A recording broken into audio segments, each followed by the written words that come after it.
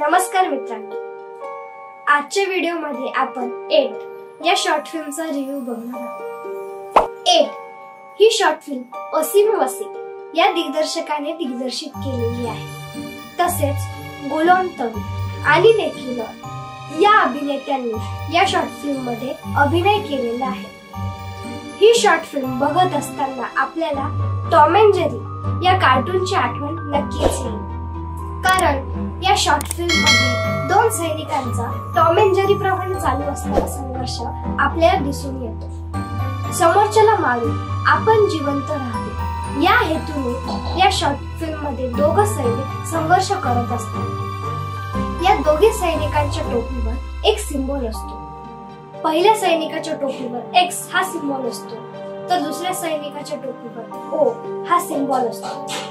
यावरून आपल्याला कळते की हे दोघं सैनिक एकमेकांच्या शत्रू राष्ट्रांमधील आहेत व म्हणूनच यांचा आपापसात संघर्ष चालू आहे. या शॉर्ट फिल्ममध्ये एक छोटेसे घुबड देखील दाखवले गेलेले आहे. हे घुबड आपल्याला म्हणजे प्रेक्षकांनाच रिप्रेझेंट करते. प्रेक्षकांप्रमाणेच या घुबडाला या संघर्षाचा शेवट काय असेल याची उत्सुकता असते. या शॉर्ट फिल्मला ट्विस्ट मिळतो तो जेव्हा दोघांपैकी एका सैनिकाचा पाय त्या लँडमाईनवर पडतो तेव्हा आपसुकच आपल्या तोंडातून आता पुढे काय होईल आता कोण मरेल हे प्रश्न येतात. या शॉर्ट फिल्मचा शेवट अधिक रंजकदारपणे दाखवला गेला असता तर या शॉर्ट फिल्मला आणखीन चार चार लागले असते. या शॉर्ट फिल्मबद्दल वैशिष्ट्य सांगायचे झाले तर यामध्ये एकही संवाद नाही. पण प्रत्येक पुढे जाणाऱ्या सीनमुळे तसेच अभिनेत्यांच्या अभिनयामुळे या शॉर्ट फिल्ममध्ये संवादाची गरज पडत नाही. विना संवादच या शॉर्ट फिल्मचे कथानक आपल्याला कळते.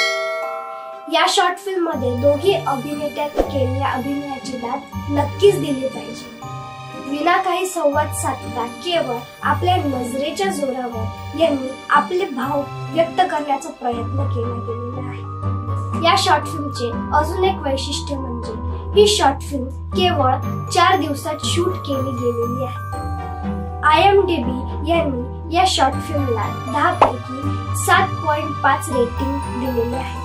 ही शॉर्ट फिल्म ऍक्शन या जॉनरमध्ये मिळते. ही शॉर्ट फिल्म सुरुवातीपासून शेवटपर्यंत या संघर्षाचा शेवट काय असेल? या संघर्षाचं कन्क्लुजन काय असेल? हे उत्तर शोधण्यासाठी खिळवून ठेवत असते. तर मित्रांनो हा होता एट या शॉर्ट फिल्मचा रिव्ह्यू धन्यवाद.